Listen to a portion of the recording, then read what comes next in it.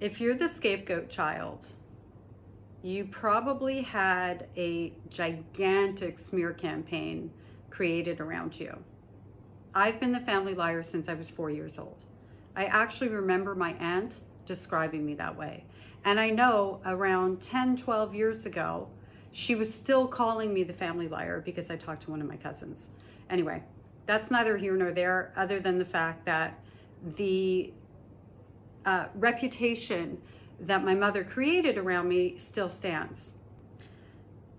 I was watching this show called Mirror Mirror on Apple TV, and it's where these psychologists sit and they're watching interrogations of murderers.